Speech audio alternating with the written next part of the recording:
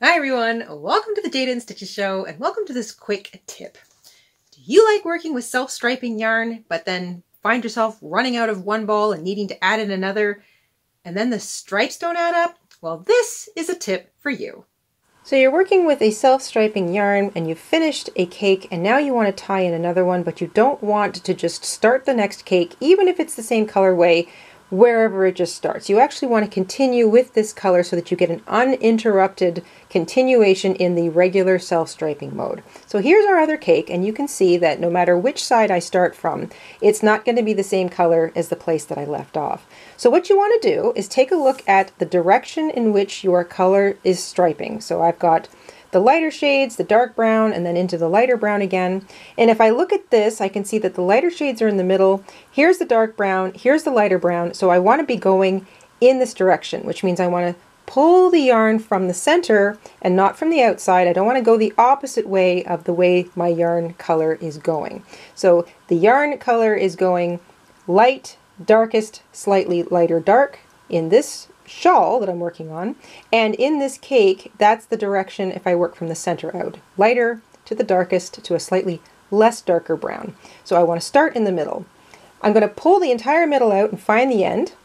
I'm going to grab my yarn winder and I'm going to start winding up my yarn, rewinding this cake until I get to the very beginning of this lighter dark, lighter brown area that matches the same color that I've got going here in my scarf. So here's the middle end, the end that is found in the middle of my cake, and that way I know I'm going to be working in the right direction of the color. I'm just going to start winding this onto my yarn winder, and I'm going to unravel the ball of yarn from the center out and rewind it onto my yarn winder here until I get to the beginning of the color that I just left off with in the shawl. And then I will snip the yarn, I will put this yarn aside, I will continue crocheting with the correct color.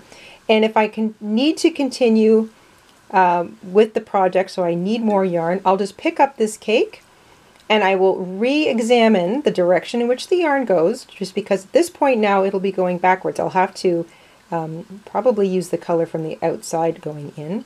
But if you put a project down for a while and you need to kind of come back to it, always just take a moment to, to realize which direction the color striping is going in, depending on which end you're working from. So if you're working from the middle end, you know, the color striping is going in a particular direction. In this case, it's going from lightest to darkest and then to a slightly lighter brown. If I was working from the outside in, from the original cake, it would be the lighter brown to the darkest brown to the lightest cream color.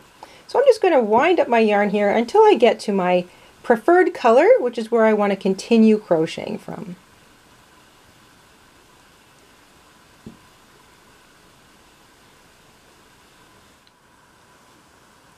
My ball of yarn is getting rather large. Oh, and there's the color change. So the color change just happened. I'm going to just unwind it a little bit until I get right back to the beginning of that slightly lighter brown, right about where it changes and if I kind of pull it up, you can see this is the dark brown. It just starts to change about here. So I'm going to snip my yarn a couple couple of centimeters just past that to make sure that the color matches exact. And if I'm unsure, I can take this yarn and just lay it against the fastened off, or I should say the last stitch I made on the actual shawl project. But I know that's the right color. I'll pull that aside I will wind up what's left of that little bit of cake and I'm going to take this off my yarn winder and I'm just going to put it aside and if I need it later I can come back to it. In the meantime I'm going to come back to the cake that I was emptying and this is the color that I want to continue with. So I'm going to find my shawl here. I'm going to pick up the yarn color that I had that was the last little bit I did. As you can see this is the color I wanted to match. I am going in the right direction with the colorway, so I won't accidentally be going from light brown to dark brown, which would be going in the opposite direction of the colorway. I've been working light cream to dark brown to a lighter brown, and I want to continue going in that direction. And as you see, I am pulling from the inside. This is the light brown, and it's going to go back up through the lighter shades. And as you can see down here, that's the direction. There's the lighter brown, it goes into a kind of a caramel color, into a cream, into the nice bright white, and then into the dark brown again. So I know I'm going in the right direction. And now I can just pick up where I left off and continue crocheting. And I will not have a color interruption in my self-striping color palette. And of course, if you don't use up what's left of the cake, you can just rewind it, put it on the shelf, and uh, add it to the stash. You can use it for something much later. We hope you enjoyed this little quick tip, and we will see you soon here on the Jayda InStitches Show. Until then, stay safe, stay crafty, and have a great week. Bye, guys. Hi, everyone. This is Mama in Stitches. Thank you for watching. Here are a few other videos you might enjoy. Don't forget to subscribe, and you can also click the like button and the bell. Thank you. Have a wonderful day.